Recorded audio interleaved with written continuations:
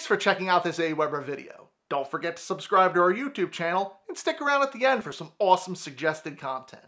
Finding your subscribers information in Aweber is super easy. From the Subscribers tab, you can view all the subscribers on your list.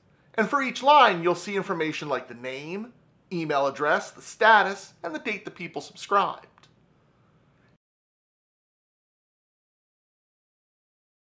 Click on the subscriber's name and you can get even more in-depth information, including again the date added, but the date any emails have been recently sent, all the tags that are associated with this subscriber, which you can also update from right in here,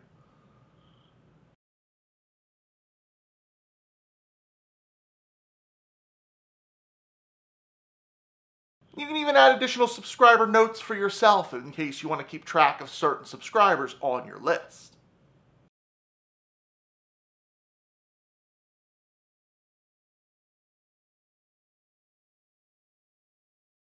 Also, take note of the bulk tools available. You can select multiple subscribers and tag them, delete them, or unsubscribe them.